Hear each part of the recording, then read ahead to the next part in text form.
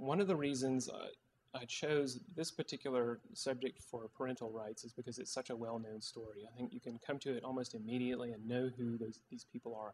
It doesn't require a whole lot of context for folks to immediately grasp what's going on in the picture. It's Joseph, Mary, and Jesus. And there are all kinds of little markers in the painting that indicate their identity.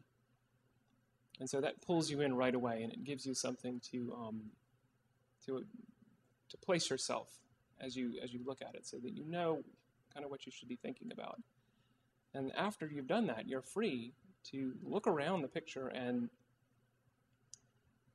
pick out little details and wonder about why they would be there, assuming that the painter has put them there on purpose and that there's a reason for everything in the painting.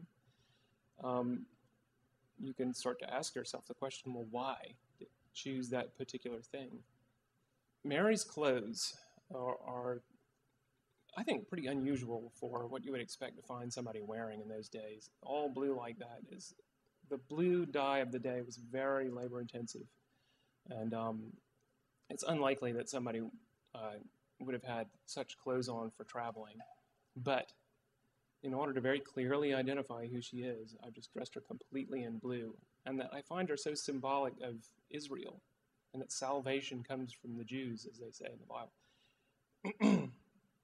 that um, I really had a lot of fun taking the various blue dyes and creating these different shades. There are several different garments. She has a, a lighter blue silk head covering, uh, dark blue wrap, and something in between for her um, dress. Is that what you would call it? Um, and it's also a nod to the tradition of representing Mary clothed in blue. Now, these three red flowers here in the bottom corner are what they call crown anemones, and they blossom all over Palestine. And I love the idea of a flower with a name like that being in a picture with Jesus. Um, and I also love the brilliant red of them, which plays off the red thread that holds Mary's dress together right here. Three represents the Trinity, and it also, these three beautiful little flowers have just sprung up in front of an upside down Corinthian capital from this tumble down Roman temple that they've sheltered in for the night. Um, symbolically, the thing is upended, and instead of the stone flower that's carved on the side of it, you have these beautiful little flowers springing up. And I think that creates a really beautiful contrast between God's providence and the pagan world, full of all of its false gods, the idols um, that they housed in these temples. And this is a detail that's very difficult to see from back there, but there's a thistle here in the other corner, and it contrasts with the flowers, uh, symbolizing the thistles and thorns that the ground brings forth after the curse, after the fall, and the hardship of living in the world, which they're facing right now, uh, and also Christ's crown and his suffering that he endures later at the end of his life. Um,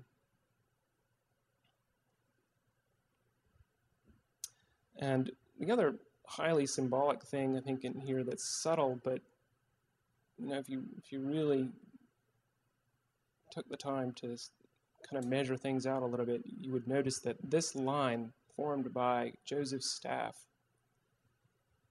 is duplicated here in the way the character's shoulders and arms line up, creating that classical compositional triangle that you see in so many old paintings and framing these two characters very well in that stability. And Joseph, very symbolically, I think, anyway, halfway in and halfway out of the picture. Standing guard, keeping them within that stability that he's very vigilantly looking out for. That he looks into the darker side of the, the world, as represented by all of this, for the trouble that might spring up at any time, while the light of providence comes in from this side and illuminates the figures. A light which is unnatural because there's a um, evening sky behind them. I use models, um, and sometimes it's just a model of, of opportunity. I'll see somebody that looks like they'd be good for a painting, and so I just ask them to sit, and I dress them up and start putting them in different poses. I've used this model, uh, this young lady, um, she's about 16, and she thought it was very funny that we're dressing her up this way. She she's Jewish, and so the idea of being married was a was a riot. But she was posing for a different painting altogether. We had her for uh, the presentation at the temple, and I just said, while we're here, why don't you sit down? And she sat on an ottoman and held the child, and she just assumed this pose, and it was so beautiful. Uh, you know, she's just very naturally. Uh, a composed person. She's very confident and um, intelligent and quiet. So she really just kind of fell into it very beautifully. And so the fact that that worked out very well for this painting was just almost an afterthought. Um, he is the youth minister at St. Philip's Church, Charleston, South Carolina. And um, he had actually been studying uh, Joseph's Joseph's life a little bit. He'd been looking into it, and so he was very interested in portraying the character. Again, it was just kind of something. It was, it was a happy surprise, really, more than anything else, um, that we found him because he he has that marvelous beard, and he also likes to go hiking and things like that. So he had wonderful dark skin.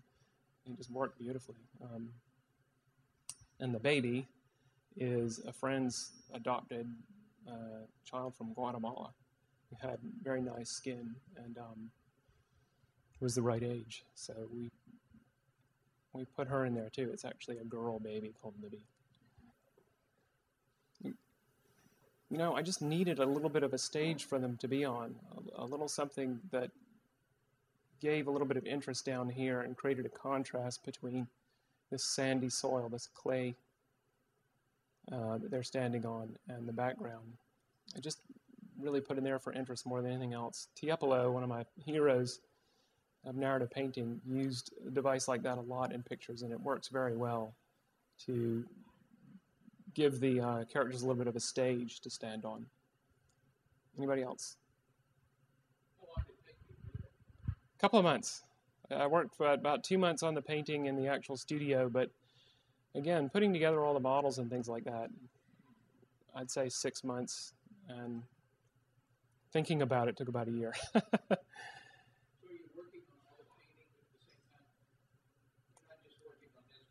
yes, sir. Yeah. I've got a number of things uh, in the studio, and I like to keep more than one thing going so that uh, when there is dead time, I can keep producing. No, sir. No. Well, I'm a portrait artist. Mostly that's what I've been doing, and uh, so that's my bread and butter. And this was uh, an interest that I just pursue whenever I have time to do it. We took this thing down to, can you hold it up for me? We took this painting down to Georgia and had it photographed down there. And these people down there did a beautiful job of um, recreating the, the, the, colors and the feel of the painting, I think. Um, this is a lithograph print. Uh, we had a thousand of them printed, and um, I'm really pleased with the way things turned out.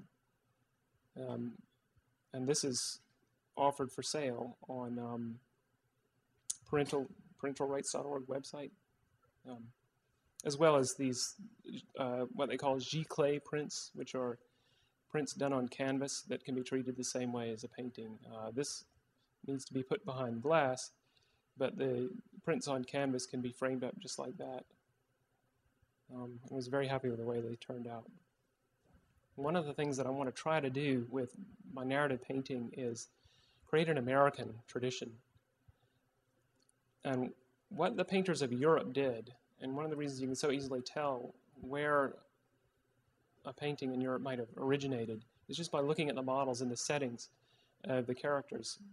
Uh, Rembrandt would use the people from around his town, and he would put them in places that were very easily recognizable from his hometown. And the Italian painters did the same thing.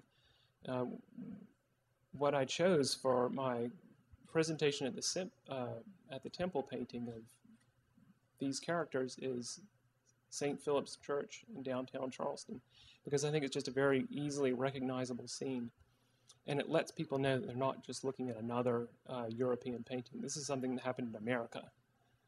And aside from the whole art historical context of that, what that does is it, I think it brings the painting into uh, people's lives by showing them the story happening in a, in a place that they're familiar with, a place that um, a place that they've perhaps seen uh, in person, and I think that in that way, the picture is done in the spirit of the Gospels, because the Gospels are about ordinary people. It's about God's intervention in in your life, in in your daily life. And so that's part of what I'm trying to do with using the ordinary as they did in the Baroque uh, tradition in the paintings. Okay, the clothing, um, we made it in part, and the other half of the clothing came from um, the thrift store. We would find a paint, we would find a, a, piece of clothing that was very simple, that we could very easily uh, bleach and then dye and alter and um, we just used the various things that looked like they would fit and put them together in such a way that um, got across the idea of ancient garb.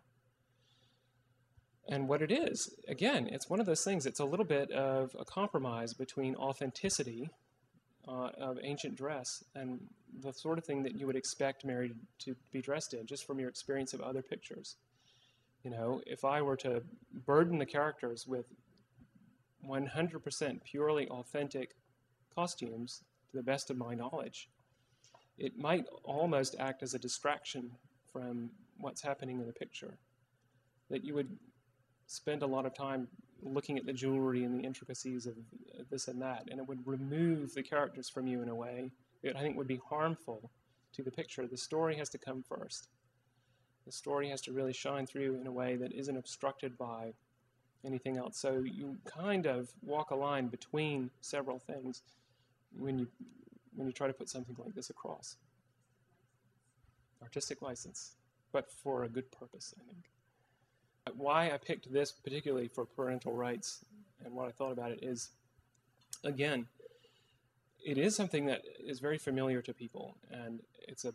I wanted to make it a pretty picture as well, um, so I tried to make the characters as appealing as possible and give people something that they could immediately identify as the as the Holy Family. But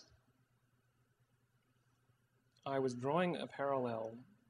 I'm trying to draw a parallel between the persecution of this ancient family and the idea of families today, here and now in America, being persecuted by forces that are a lot stronger than they are, by, by people who would come between children and their parents in a harmful way. Uh, perhaps not as dramatic as uh, Herod and the massacre of the innocents, but uh, I think that the strength of that story behind these characters is balanced by the relative peace of the um, the scene in the picture.